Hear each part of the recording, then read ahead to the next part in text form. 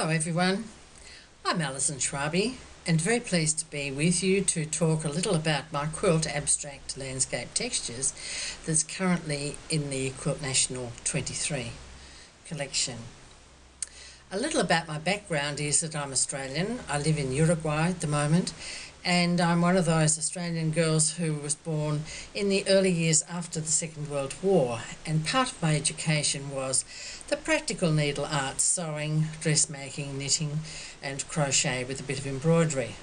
My grandmother and my mother were both very good at that, so there was encouragement at home, but we also learned those things at school. And dressmaking classes lasted right up until mid secondary school. Those of us with academic potential were uh, steered into those subjects. Eventually, I went to university and one of the subjects I majored in was geography. I particularly liked physical geography and geomorphology, the study of landforms, and the processes of erosion and deposition that structure them and make them into the identifiable forms around us.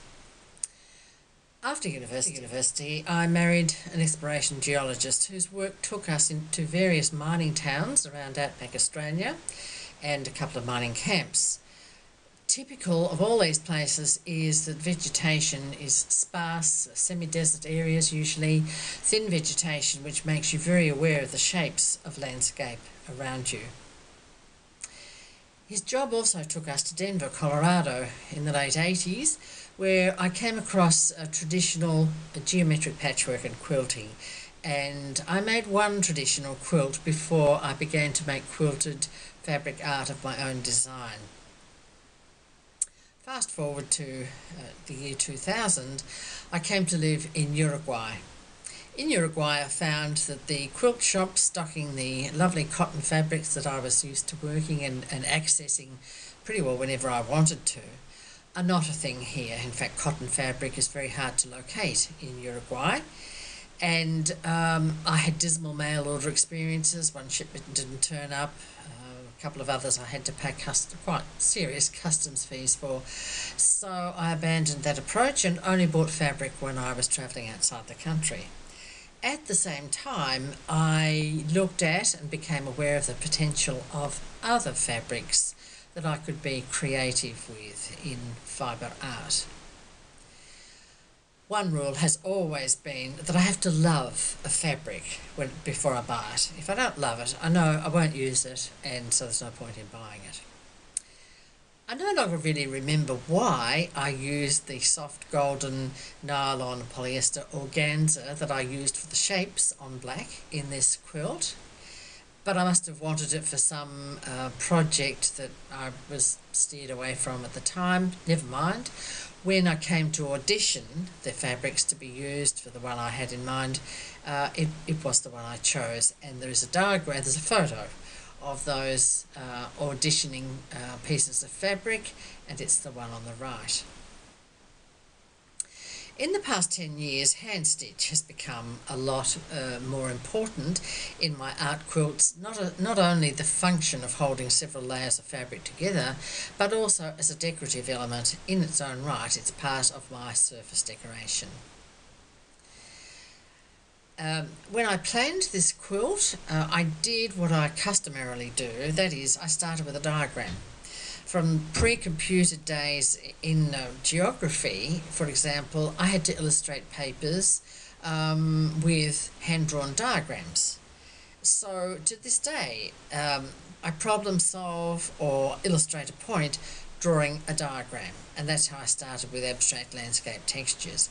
You'll see the picture of the diagram probably right now, and you notice that the lines head out towards the right-hand side of the page, but I just don't get there.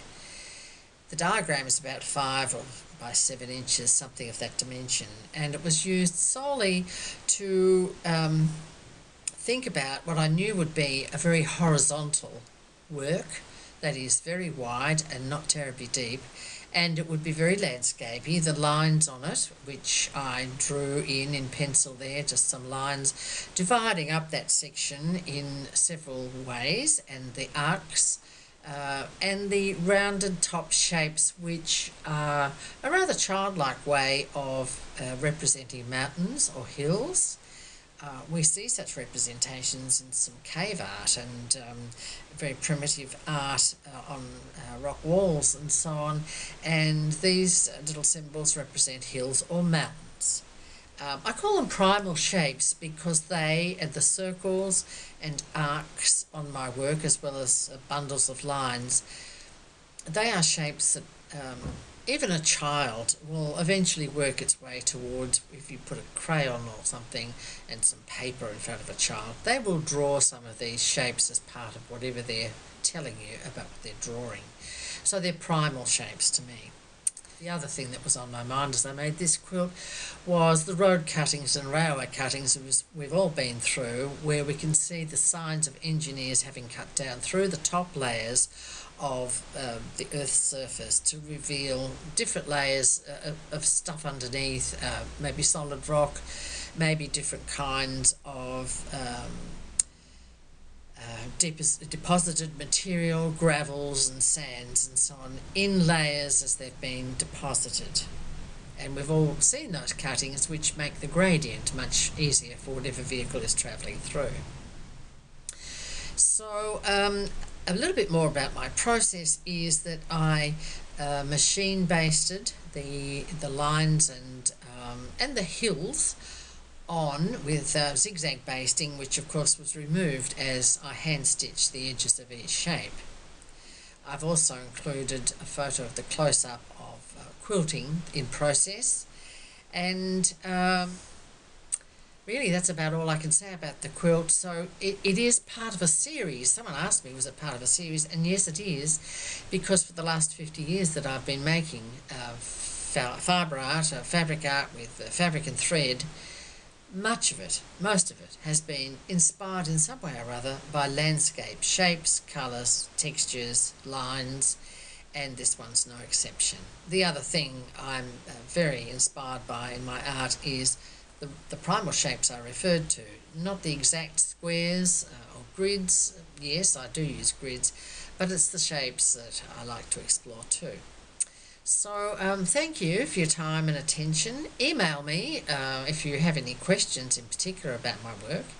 And I'd like to say congratulations to my fellow exhibitors this year, and a big thank you to the Dairy Barn Arts Centre for making this opportunity possible. Cheers!